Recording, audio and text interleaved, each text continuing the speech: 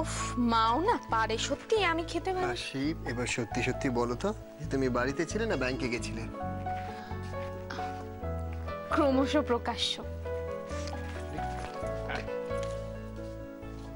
ছোটকা তুমি দেখেছ কোন দর্শী মেয়েকে আমি বিয়ে করেছি?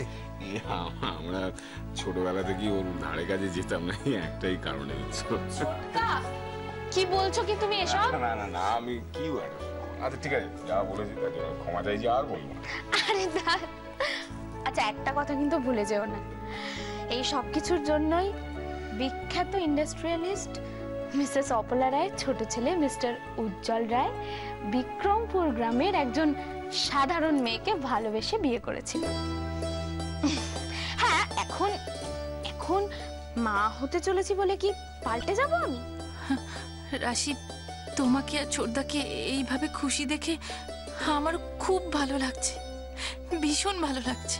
আসলে ওর যে মাথায় মানে কখন যে কি খেলে একমাত্র শুধু ওই জানে আর কি। নানান রকম প্ল্যান ট্যান নিয়ে থাকে, ভবিষ্যৎ নিয়ে এরকম আমি কিন্তু নিজের সামান্য একটা অংশ আমি তোমাকে একটা সাজেশন দিই, শোনো। যে এই তুমি না খামোখা এটা নিয়ে টেনশন করো না।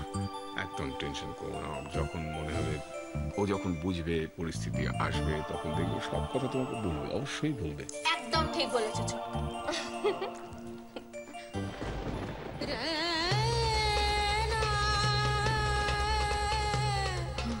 কমলা তুমি এখন এসো হ্যাঁ?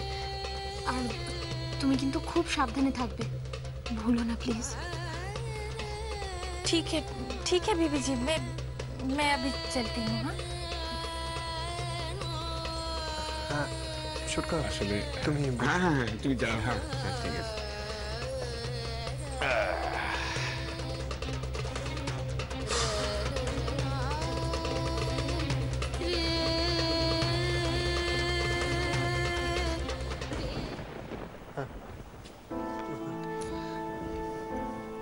কি হয়েছে না কি- কিছু না কিছু না। তো চলো।